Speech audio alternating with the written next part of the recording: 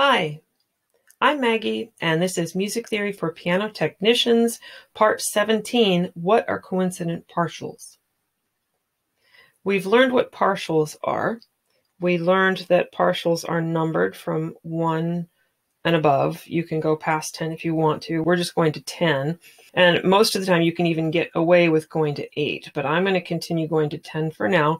The scale degrees give us the pitch no matter what key we're in as long as you memorize the numbers. One, one, five, one, three, five, flat seven, one, two, three. Those are our scale degrees. If I write those out starting from C, we have one.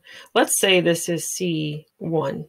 One, one, five, one, three, five, flat seven, one, two, three.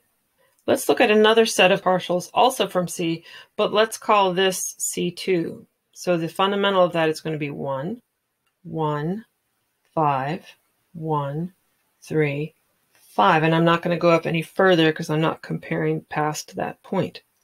So where do we line up? From C1, we have a coincident partial right here with the fundamental of C2. So this is our first coincident partial. We have another one right here where the one, two, three, fourth partial of C1 lines up with the second partial of C2, and that's also on a C. We line up here, one, two, three, four, five, six. The sixth partial of C1 lines up with the third partial of C2, and that's a G.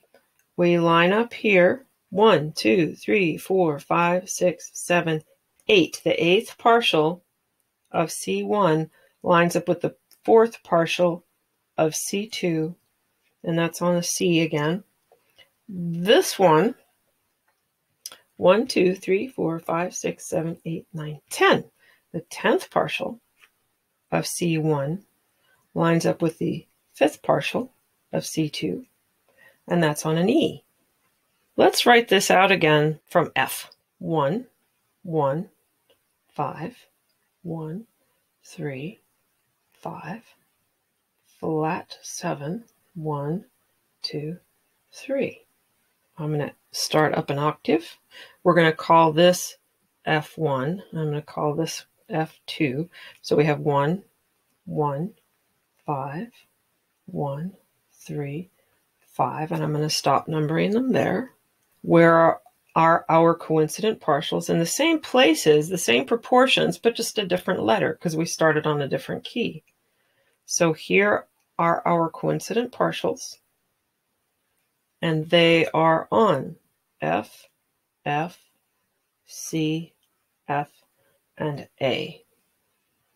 Let's look at a different interval.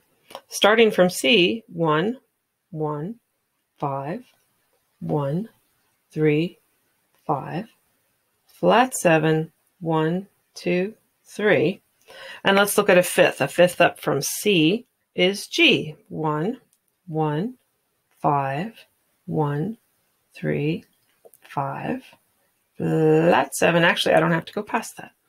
So where are our coincident partials? We can see they line up here, here, and here. So the coincident partials from C1 to G1 are G2, G3, and D4. Let's look at that same interval, but starting from F. 1, 1, 5, 1, 3, 5, flat 7, 1, 2, 3.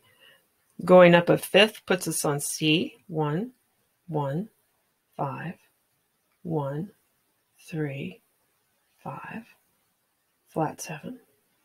Our coincident partials, same proportions, just a different letter because we started on a different letter.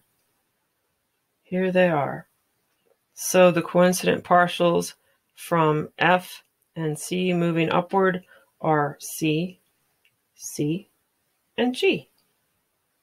Let's look at another interval, starting from C, 1, 1, 5, one, three, five, flat seven, one, two, three.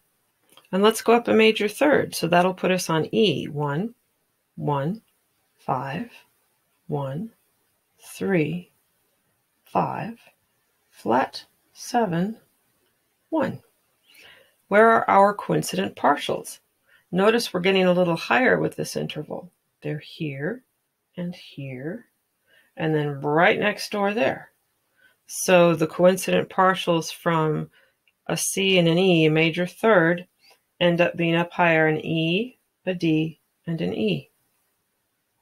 Let's do that same interval starting from F. 1, 1, 5, 1, 3, 5, flat 7, 1, 2, 3.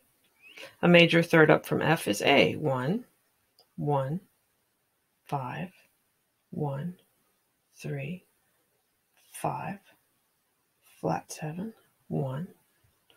And I can stop there. Our coincident partials. Same proportions, just a different letter because we've shifted upward. So these partials from F to A fall on an A, a G, and an A. Let's look at another interval, starting from C, 1, 1, 5, 1, 3, 5, flat 7, 1, 2, 3, and how about a major sixth? A major sixth up from C is A, 1, 1, 5, 1, 3, 5. So where are our coincident partials? Here and here. So the coincident partials from C to A, that major sixth, fall on an E and an E up higher. Let's do a major sixth starting from F.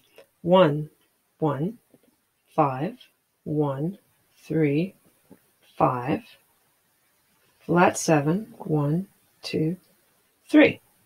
A major sixth up from F is D. 1, 1, 5, 1, 3, 5. I don't have to go past that.